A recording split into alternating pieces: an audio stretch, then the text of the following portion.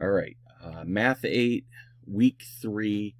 Uh, here's what Mrs. D. Rosario says. Uh, you'll be learning about perfect squares, perfect cubes, and how to find their roots. All right. Um, there's a video, and you're going to need to use the calculator, and there's some notes. And then there's two practice worksheet assignments, as well as a form that you need to complete by Friday. Uh, and she says, remember, the more you complete, the better your grade will be.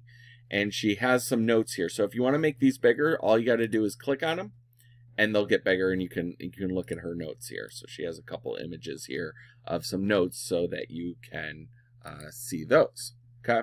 Um, all these. You can scroll down and and click on each of these images and make it larger. All right um, so for both of these assignments you need to use the scientific calculator so i'm going to show you a little tip here if you're on your computer so i'm going to click on scientific calculator and this is the link right here so i'm going to right click on the link open in new window. Okay. That's going to open a new window. And then I'm just going to grab the top of it and bounce it to the the side of my screen. It's going to give me half the screen. Okay. Now back on the teams here on the other side. Oops, too far back. Math. I'm going to go into the first assignment here, which is the square cube roots. Nope, that's not it. I'm going to go into this one that's called square roots and cube roots. Okay, here it is. These are the two uh, Word documents. Okay, and you're going to use this calculator over here. So we're going to click the first one. Remember, anytime you get a Word file, you have to go up, click Edit Document, Edit in Browser. Right? Let it load in all of the equations here okay? And then you're going to use the calculator to figure out your answers and type your answers in these boxes, okay? And once you're done, click close. Work on the other one, the other one, the other worksheet here, okay? Same thing. You still have your calculator up over here. Oh, we have a Word document. Edit document, edit in browser, okay? You let it load in all the equations. It takes a little bit. Um, and again, do these problems on the calculator here.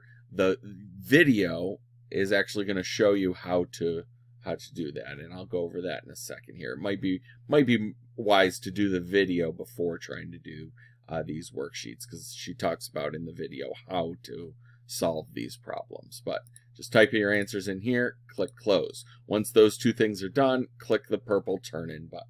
Okay, we keep that document, the the calculator open here. All right. Um, let's go over the video here. So the video, okay, uh, we're actually going to use another new window here. So we're going to go, uh, before we open this, we're going to go to video lessons and notes, okay? And you're going to click on the video, right click on the video, and open that in a new window as well. Now we have another new window here, and I'm going to pop that to the side so that I can see my two things okay, here. So, this week there's going to be. I got the the video over here, and now I'm going to go back on the team. Up oh, too far back again. I'm gonna go back on the team and go to this notes from the stream video. Click View Assignment. Click on this file. It's going to open up here. Now, this isn't a Word document. It's a, a OneNote file, so you don't need to click Edit in Browser. It just automatically can go. So um, watch the video and fill in the notes as she's doing uh, the problems and taking the notes. So the notes go right along with the video. So you can watch the video over here and take your notes over here.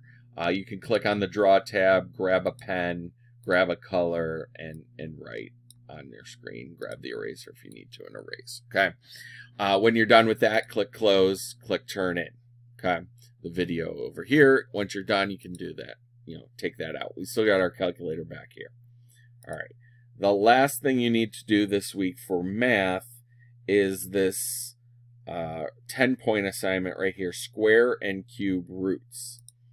we click on that. This one's a form. Okay. You're going to want that calculator open. So you click on the form and then go through and answer each question. Use the calculator to help you. By this point, you should know how to solve these problems um, if you've watched the video, done the notes, and done the two other worksheets. Um, so those are all the things you need to do for math for week three.